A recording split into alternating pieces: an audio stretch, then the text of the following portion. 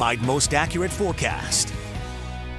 Oh, we had some robust snow showers develop during the overnight hours, and most of us waking up to a dusting to a new covering of snow for the region. Satellite and radar, this is the last 12 hours of imagery, so it'll give through the overnight uh, those snow showers that were coming in. Northern Kentucky as well for the morning hours during the commute, especially. Most of it is sliding off to the east, and notice we're not seeing a lot of development, additional development now into southern parts of Indiana. So we should have the current snow showers start to wane some for most of our afternoon hours, kind of tapering off into some flurries. And at this point, we are seeing our easternmost counties, Highland over to Adams County, a couple more snow showers persisting within the 275 loop. Not a lot popping up on the radar, but you still have those flurries flying out there. You can see a little bit of blue returns on the radar from Colerain to Finneytown, uh, northern parts of Campbell County through Fort Thomas, heading toward Mount Washington and Clare, eastern parts of Hamilton County. So we do have some pockets out there. This is not going to cause any additional uh, accumulation or problems on roadways, but some flurries continue to fly across the region. Most of our afternoon quiets down, then we may see a few more snow showers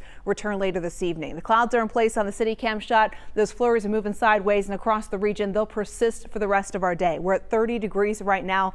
We'll struggle to get right at to above the freezing mark for the afternoon, but the wind chill is going to stay in the 20s. So it's going to stay rather cold out there. The current wind chill is 20 degrees, a west wind at 13 miles an hour. Temperatures for the region all sub freezing, just below the freezing mark for the region, 30, 31 degrees. We'll edge that up a couple of degrees through our afternoon underneath that cloud cover. Satellite and radar showing we're not the only ones with these snow showers. They're across the Great Lakes as well. Some of the higher elevations of the Appalachians producing some accumulation just off to our east but will persist today. Light flurries for the afternoon, snow showers return for the evening, and notice the general flow, a westerly flow with cold air in place.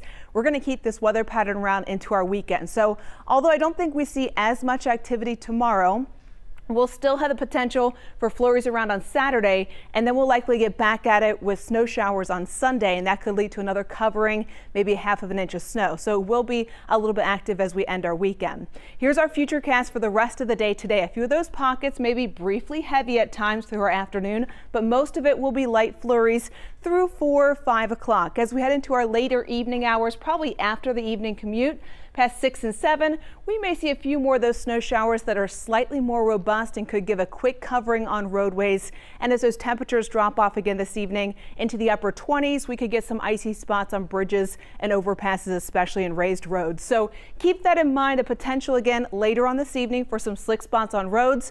I don't think we have a lot of activity tomorrow morning if you're heading out for early on Saturday. Most of the afternoon, it would be very light flurries under clouds during the afternoon for Saturday as well. 34 degrees for an afternoon high today. Temperatures edging up just a few more degrees. Some of those evening snow showers. Then most of our overnight should be pretty quiet, but still cold at 25. Tomorrow afternoon, 38.